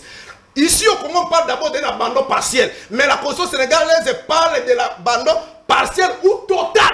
Ça, c'est l'article 96. Et si vous essayez de jeter un coup d'œil dans notre constitution de 1964, le- la disposition existe, la constitution de 67, la disposition de son article 68 ex- existe, Existe. la constitution de 92, la disposition existe. Vous comprenez, c'est sur n'importe quoi. Et d'abord, ce n'est pas un impératif. On n'a pas dit de prendre votre pays, donner ça au Rwanda. Mais pourquoi pas donner au Centrafrique Merci Pourquoi bien. pas donner au, au- au- au Congo de face Merci bien, Monsieur Serge. Toujours, toujours est-il que la loi. Bakajika stipulait que le sol et le sous-sol appartiennent à l'État, ce qui n'est pas le cas aujourd'hui dans notre constitution de 2006. Alors, euh, Monsieur John Didrik Madimba, euh, la question de l'agression aujourd'hui, l'agression congolaise, est-ce que la RDC est-elle aujourd'hui euh, prête à faire face à l'agression des autres États si ça, euh, si ça arrivait, euh, puisque nous sommes entourés de neuf voisins. Euh, Oui, merci beaucoup pour la question. Je, je commence par rencontrer le pasteur. Le pasteur doit supporter la contradiction. Moi, Le- je suis d'accord. Ah, c'est beau, hein Le pasteur m'interrompt. Non, je ne Voilà. L'homme est rattrapé par ses dires. Merci. Ça fait la beauté du débat. Je pensais que vous aussi, vous étiez discipliné puisque vous m'aviez demandé de l'être. Vous comprenez? Alors que la beauté des débats permet à ce que, quand il y a à dire, vous pouvez m'interrompre, moi je comprends. Non, non, non, continue, Ah, c'est bon. J'ai vérifié l'hypothèse, si aussi vous avez la capacité de résister sans interrompre. Mais j'ai vérifié, j'ai vu que nous sommes pareils. Alors, Souffrez. Maintenant, quand le pas, moi ce qui me fait mal, on ne doit pas massacrer l'histoire. Et puis dans la vie, il faut être contextuel. Texte prend en dehors du contexte et un prétexte. Nous, nous avons une mauvaise expérience avant d'arriver à la Constitution, parce que la Constitution ne doit pas être révisée, mais on doit changer toute la Constitution. Changer. Moi, je suis pour le changement. On ne doit pas être complaisant. Notre Constitution doit rimer avec nos us et coutumes. Ça, ça doit rencontrer... Mais d'abord ce que j'ai dit. Mais tu as dit que je, je parle de balai d'abord. Ah, ah, je vais y arriver. on va parler non, de- non, je vais arriver. Il a évoqué le cadre de la Constitution. Mais vous voyez comment le pasteur lui-même ne sait pas se maintenir. cas. Ne sait pas se maintenir. Je vais y arriver en disant ceci. Lorsque le pasteur re- relate l'histoire de la démocratique du Congo, il parle de l'indépendance et consort. Je rappelle au pasteur que le premier parti politique en. RDC, non, vous l'avez laissé parler, supporter. Le premier parti politique congolais en RDC, ce n'était pas la BACO. La BACO n'était qu'une association? Moi, je ne souffre pas de l'amnésie sélective. Ah, Non, non, laissez-moi, vous, vous aurez votre temps d'antenne. Le pasteur ici est en train de nous démontrer que il- les, les hostilités avaient commencé plus longtemps. Non, la BACO militait pour un groupe. C'est la- l'indépendance des Bakongo. Le premier parti politique, c'est le Mouvement National Congolais dirigé par Lumumba, le MNC. Il ne faudrait pas venir sur un plateau sérieux comme ça, inventer Lumumba l'histoire. Kalonji. Eh, Lumumba et Kalonji. Donc je suis en train de dire que la finalité était quoi avec les différentes sécessions? La finalité c'était quoi? C'était que l'État congolais, nous n'étions plus un État dans son intégrité comme le 30 juin. Et aujourd'hui, c'est que le Rwanda a fait, ça va, c'est pareil. Qu'est-ce que le Rwanda a fait? Ils arrachent les territoires. Et l'objectif c'est quoi? C'est de réduire parce qu'avec le territoire occupé, lorsque les administrations deviennent rwandaises, ils vont répondre à quelle obédience? À l'obédience rwandaise. Est-ce que l'objectif est différent? Nous sommes dans un même objectif. L'objectif des 60 et cet objectif. L'objectif des Boulo Kalonji, Moulopwe. Il avait fait du Katanga un État à part. Et aujourd'hui, le Rwanda, les Rwandais qui ont occu- occupé le Rutshuru et consort, les trois États, leur objectif c'est quoi? De faire un État à part. Est-ce que La aujourd'hui. rébellion et l'agression, c'est deux concepts différents, Mais ça a une monsieur. même finalité. Ça a une même finalité si simplement, ça a une même finalité si simplement ça arrive à diviser un État. C'est une même finalité. Exemple, les autos et consorts. Et puis deuxièmement, quand vous parlez, est-ce qu'il y a eu un pays à guerre qui a pu signer les accords? Pasteur, informez-vous. Exemple, 2014, la Russie et l'Ukraine sur le passage des gazoducs. Je vous ai rencontré. La Russie et l'Ukraine en 2014, lorsque la Russie a annexé le Crimée, la Crimée. Je vous ai rencontré. Vous avez- mis au défi, mais je vous ai rencontré. Maintenant, je vais arriver à la question de la sécurité. Le monde est un village planétaire. On s'informe même avec les réseaux sociaux. Donc, la le président de la République, en signant un accord avec le Rwanda, n'a jamais été une erreur. C'est la conjugaison des efforts communs parce que le monde est un village planétaire avec les idées, les investissements directs à l'étranger. Et ces accords, Hein? ces accords ont été. Mais ça, maintenant, nous, nous On- avons. on- on- mais ces accords, on ça, est- ouais. Le chèque de ces accords sont une évidence. Vous comprenez? Je ne nie pas l'échec, mais ça a déjà existé. C'est une erreur Vous- essayez, essayez de me rencontrer. Je vous donne la date 2014. La Russie Est-ce que ce et le pas, quoi? Et ces accords-là ne sont-ils pas l'une des causes de cette, euh, ce que nous vivons aujourd'hui? Non, je dis ceci. La rébellion a commencé. Maintenant, la question, c'est comment remédier à ces, à ces problèmes? Moi, je dis, pour remédier à ces problèmes, il faut accorder beaucoup de fonds à l'effort militaire. Pour y arriver, il faut passer d'une constitution à une autre parce que l'architecture est budgétivore. Là, avec les institutions, vous, ils se plaignent ici en disant que l'institution... On va mettre fin à l'insécurité. Un, en allouant, peut-être lorsqu'il y a redu- lorsqu'il y a changement de l'architecture de l'État, les institutions, la suppression des assemblées provinciales, qui sont budgétivores. Moi, je m'étonne quand ils rient, ils se moquent de quoi eux-mêmes? La, la- la suppression des assemblées provinciales, la suppression du Sénat. Parce que le Sénat, c'est quoi? C'est la lecture en seconde, et c'est la seconde lecture. Mais c'est pas ce qui empêche. non, mais il y a un problème de fonds, mobilisation des recettes. Maintenant, pour arriver à mobiliser les recettes, non, non, écoutez, non, non, arrêtez. Là, pour mobiliser les recettes, on peut réduire les dépenses. C'est un principe économique. Vous dites, vous, vous parlez de quoi? Les dépassements budgétaires aussi. on ça- peut réduire les. C'est un problème. C'est lié à l'architecture. Moi, j'ai apprécié ce que le pasteur disait. Le pasteur dit que les assemblées provinciales ont un problème de fonctionnement. Ça, c'est ce que le pasteur a dit. Maintenant, nous en avons combien? Nous en avons combien? 26. Vous comprenez? Parce qu'on a voulu copier une- une- un fonctionnement à l'occidental. Pourquoi nous devons avoir une seconde lecture? Alors que quand il y a conflit entre les Sénats et la Chambre basse, entre le Sénat et le Parlement, nous- il y a une commission mixte qui s'établit. Au sein de la commission mixte, c'est la voix de l'Assemblée nationale qui est prépondérante. Qui est prime. Donc, il faudrait réduire les coûts. C'est ce qu'on appelle en sciences économiques un coup de rabot. Il faudra accorder un coup de rabot. Ça permettra, et c'est un problème de recherche opérationnelle qu'elles ne veulent pas comprendre. Ça permettra l'affectation des recettes ou Oh, papa, c'est un problème des recherches opérationnelles. Ça permettra l'affectation. Ça, c'est un problème d'affectation. Ça permettra la- l'affectation de ces recettes-là pour le secteur de la défense. Et parce que l'armée demande beaucoup de moyens. Vous avez suivi la guerre entre la Russie et l'Ukraine, entre la Palestine et, et l'Israël. Il faudra la sécurité. Il faudra sécuriser les airs. Merci Parce qu'il n'y a pas gagné frontière aujourd'hui. Il y a une autre frontière qui s'est créée, les airs. Merci bien. Mais vous, vous ne voulez pas parce que la constitution vous fait fait mal parce que vous, vous voyez, dans le changement de la constitution, la pérennisation du règne de Félix. Merci Moi, je ne suis pas le mouton de Panurge. Je ne fais pas le fou du roi pour défendre le président de la République. Mais, et puis l'article 217 que vous, vous défendez en énonçant la loi sénégalaise. Mais écoutez, nous ne devons pas copier bêtement. Les réalités congolaises, c'est différent. Pour Nous- parvenir à l'unité africaine. non, mais quelle unité C'est- c'est dans Quelle la unité charte de l'Union Quelle africaine, unité Nous, moi, j'ai toujours soutenu le président de la République en rejoignant de la vie du préambule, président la Mozito. Constitution tient Il la faudrait faire la guerre au Rwanda, déstabiliser. Pourquoi il n'arrive pas à comprendre? Merci bien, Monsieur John. La constitution doit être changée, pas révisée. Changée. La constitution doit être changée, pas révisée. Pour sauver ces pays, l'architecture est budgétivore. On vous impute le fait que vous avez amené les Rwandais au Congo. C'est à cause de vous que l'armée est, euh, est, euh, infiltrée. C'est à cause de vous aujourd'hui que le Rwanda euh, réclame euh, l'application des, des accords. Bon, on ne dit pas des accords des Moi, je travaille toujours. euh, ainsi de suite. Voilà, la FDL était-elle une bénédiction Moi, ou je une, travaille une toujours- malédiction? En fait, moi, je travaille lorsque, lorsque, lorsque je pris ces casquettes-là d'être politique. Et j'en félicite d'abord nos amis avec qui euh, nos amis qui sont passés par des grands, des grands hein. Je vis quelqu'un cité ici, Kabouya Lumuna Sando, qui est d'heureuse mémoire, paix à son âme. Nous sommes passés par cette école. Les professeurs comme les Samba Caputo, nous sommes, heureusement, nous sommes passés par cette école.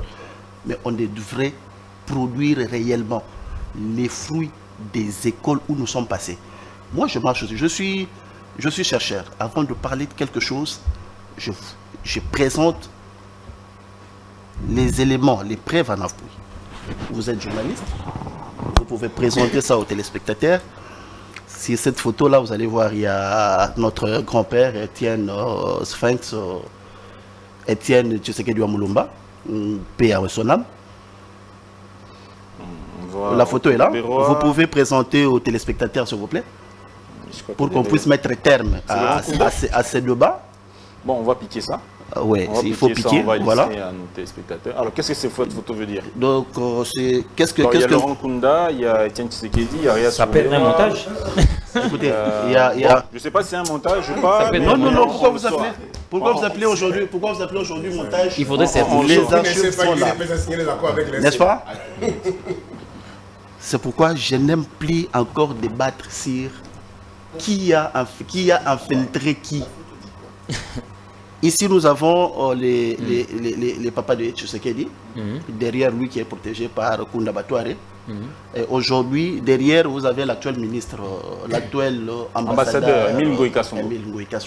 À Paris. De l'autre côté, nous avons euh, Onosumba. À côté d'Onosumba, nous avons euh, les tétés là, qui étaient à la deuxième. Ils ont revendiqué en, 2020, en 2003, à cette époque, dans le partage du pouvoir. Ils nous ont imposé, avec la bénédiction de leurs alliés hier, parce que les photons sont là, Encore une Le DPS Rwandais. RCD. IDPS, à cause, I- encore IDPS, euh, IDPS RCD, n'est-ce pas Qui nous ont amenés aujourd'hui, qui nous ont infiltrés aujourd'hui. C'est l'antithèse que l'UDPS n'a jamais pris les armes, soutenu les rébellions. Mais les photos Ça, sont là. ça, Ils se sont retrouvés où ils, ils se sont, ils, sont, ils sont en train de faire quoi? Ils étaient en train de faire quoi à cette époque ici Parce que les images Oh sont là là. Voyez-vous. Les images sont là. Lorsqu'ils sont venus, ils ont demandé des postes. Pas.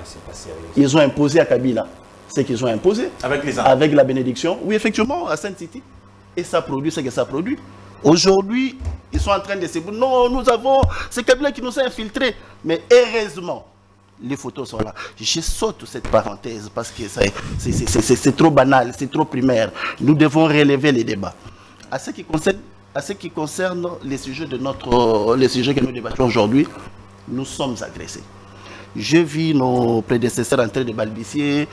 Voilà, euh, Félix Sekedi a signé des accords. Alors s'il signe des accords avec les Rwandais, c'est tout un problème. Je ramène à quelques-uns ici. Peut-être, vous n'avez pas eu à suivre le cours euh, de géopolitique avec euh, professeur euh, Kabouya Sando. En géopolitique, on dit ceci. Dans les cas de notre pays, les pays avec lesquels nous partageons neuf frontières, il y a ce que nous appelons l'analyse de la gestion diplomatique en fonction de cercles concentriques.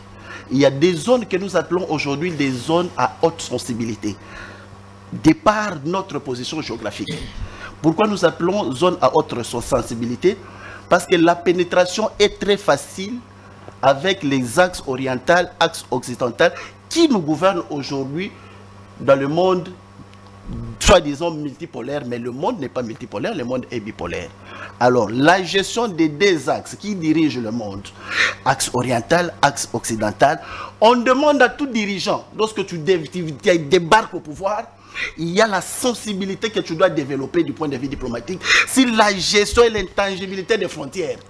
C'est ce que nos amis qui sont, qui sont arrivés aujourd'hui au pouvoir, en amenant nos ennemis d'hier, en les approchant à la table de négociation, en cédant, avec beaucoup de facilité, avec beaucoup de négligence, comme ils sont tentés de, les démontrer devant la, devant la place publique à la télé. Est-ce que, dans cette même logique, la sociologie et de, la géopolitique, on nous dit ceci. Si tu veux signer avec un contrat qui nous agresse tout le temps, et ce connu, ça fait trois décennies que nous sommes agressés par le Rwanda, par les Ouganda, par le Burundi. C'est connu. Lorsque vous voulez prendre une décision de plus haute responsabilité, si caractère des accords commerciaux, il faut analyser. Qu'est-ce que, qu'est-ce que ce voisin-là cherche dans, cette, euh, dans, ce, dans ce territoire? Le Rwanda nous pénètre beaucoup plus dans l'Est, c'est depuis des décennies. Et l'Ouganda est même et depuis des décennies. Est-ce que nous pouvons signer des relations avec cet État-là? Vous élaguez d'abord la question. Monsieur je crois que peut-être qu'on pourra euh, rapidement conclure hein, pour, euh, je pense, la régie nous a dit qu'on n'a plus le temps. On, a consumé le, toutes les minutes. Vous, Alors, avez, si vous les avez été le temps de, parler. Hein. La question. parle trop. Ah bon vous avez Oui, il a mis quand même. C'est de la matière qu'il faut. c'est de la matière. Si vous me donnez le temps, je suis en train de. En septembre 2020. La, question du changement de la Constitution. Pourquoi vous vous y opposez Étant donné, que Kabila pourra aussi revenir. Nous vous y opposons farouchement parce que les arguments, les arguments présentés par le président de la République, le secrétaire général et mon co-débatteur est non fondés. Vous ne voulez pas voir Kabila encore Et non fondé, et non fondé pourquoi? Il vient de nous expliquer ici les institutions sont budgétivores, il faut, il faut réviser la constitution parce que les institutions sont en train de consommer, n'est-ce pas, euh, les budgets et l'argent qu'on devrait louer aux groupes armés est beaucoup loué euh, à des institutions. Nous avons défait le M23 en, 2013 avec la présence de ces mêmes... Ironie de l'histoire. C'est la, la MONUSCO, la force d'intervention rapide. Écoutez, écoutez, Écoutez, c'est une vérité. Avec les mêmes institutions, les, les assemblées provinciales, il avait le Sénat, on avait l'Assemblée nationale à cette époque. Ça, c'est je, je, je, dois avoir à répondre à cette question. La deuxième question, je suivi moi-même le président de la République.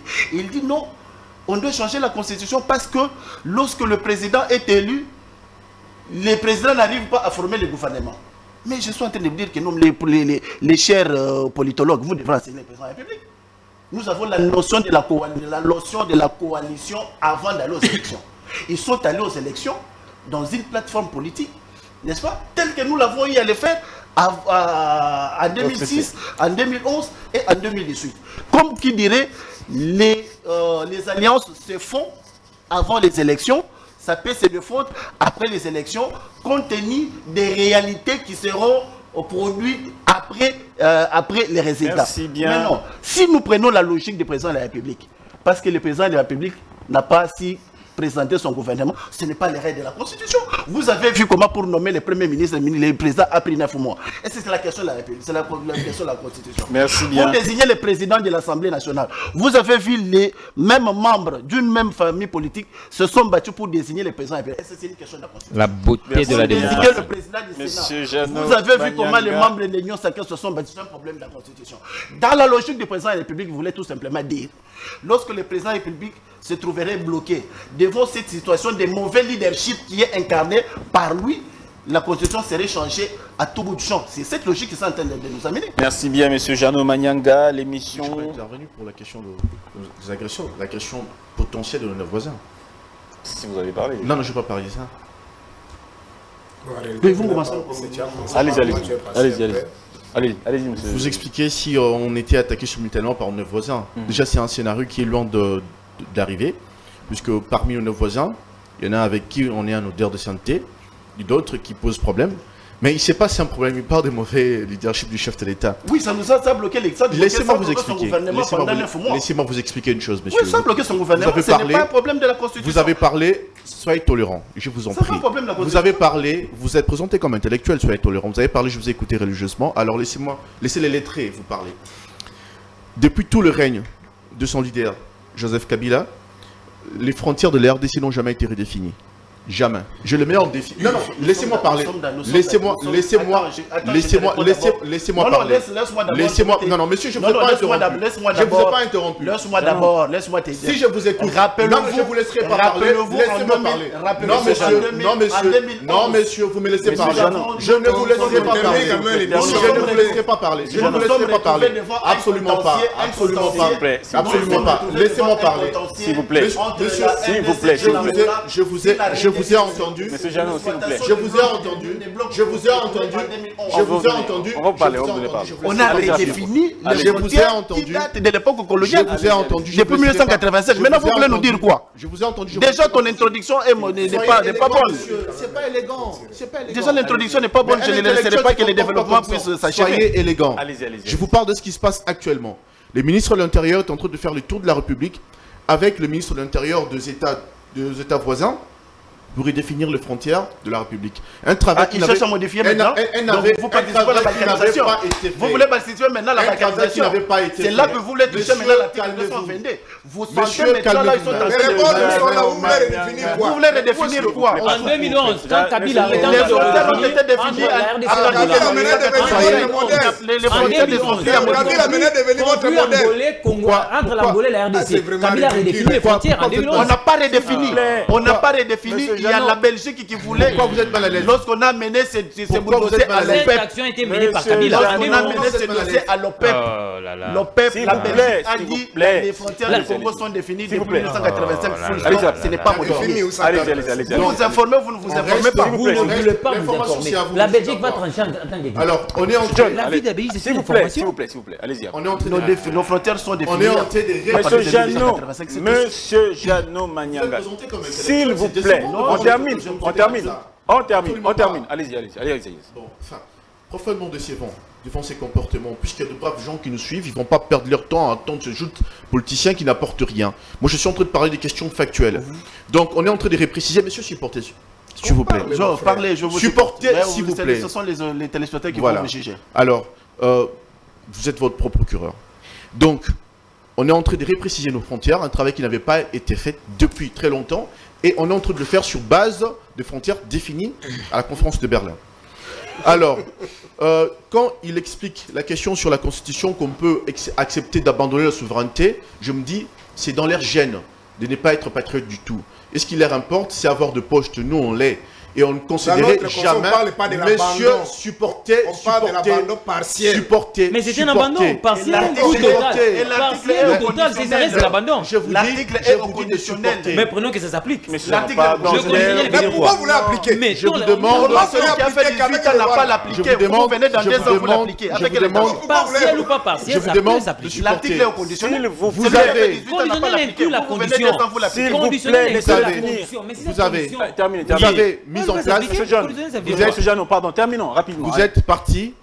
Vous avez mis en place des accords parce qu'ils avaient, ils étaient, ils s'étaient accrochés hein, avec les accords de 2013 et 2009 signés avec l'homme 23, où la partie est et les Tanganyika étaient déclarés des zones sinistres, où il était défini spécifiquement signé par des gens délégués par Joseph Kabila, son ancien leader. Par quel document? Les accords de 2013, messieurs, donc vous, vous, faites la preuve. Vous en les preuves? Vous faites la preuve. Vous en tenez les je preuves? peux vous l'envoyer juste après cette émission. Donnez-nous les preuves, on parle je, avec de preuves. Les accords de 2013, donc allez lire. Allez lire. Les accords de 2013. Les accords de 2013. Où? La RDC. Alors j'ai pitié de vous. J'ai pitié de vous. Et un intellectuel ne peut pas se comporter comme ça. Donc, où la partie Est, les Tanganyika étaient déclarés des zones sinistrées, où ils avaient la possibilité de mettre en place une police, une administration spécifique, autonome de l'administration centrale. Monsieur dit n'est pas de connaître, je suis décevant, vous monsieur. Appliqué ça, Calmez-vous, monsieur, je parle. Pasteur, calmez-vous. Un pasteur doit être discipliné, s'il vous plaît. Je suis chrétien et je suis complètement désolé de voir un pasteur de votre état. que vous présentez devant la télé. Mais les accords de 2013 sont là, clairs et nets, signés. C'est ça qui vous bloque. Allez-y, attendez, Alors, il n'a pas, pas, dit ça. Ah, ils ont, ils ont voulu... C'est ce qui permet de modifier, voulu, de, de allez, modifier allez, nos frontières. Et vous, voilà. vous, vous, Donc, vous, acceptez aussi que la Belgique est d'accord de modifier ça S'il vous plaît, M. Jeannot. Est-ce que lui a parlé d'une modification? J'ai dit qu'on devrait changer cette constitution. Dit Non, qu'on la- doit la changer cette constitution. On l'a il n'a La jamais parlé de j'ai la maintenant il accepte. Je reprécise. Je On doit reprécise. la Je pas une reprécise, révision, un changement Je total. reprécise. Je reprécise. Merci, je la reprécise. Merci Il- bien. Moi j'ai parlé. Je reprécise, je reprécise la qu'on entre doit la et changer Là, cette tu parles de constitution. 2014, Il faut- donc, les accords de comprendre. 2014. La guerre de la Russie et l'Ukraine, c'est pas 2014. Ça a commencé en 2014 avec la la guerre de la, la Russie et l'Ukraine, c'était pas C'est pas 2014. Là Non, non, non, là. Crimée, n'importe quoi. n'importe quoi. En 2014, on a fait Vous accords. êtes de- agressé, Vous on, vous agresse, vous signez des accords commerciaux. Laissez-moi vous dire. 2014, La RDC, la RDC et le. Rwanda, la RDC, la RDC et le Rwanda sont voisins. Je ne connais pas de pays qui changent d'adresse. Mesdames et messieurs, merci. L'émission est terminée.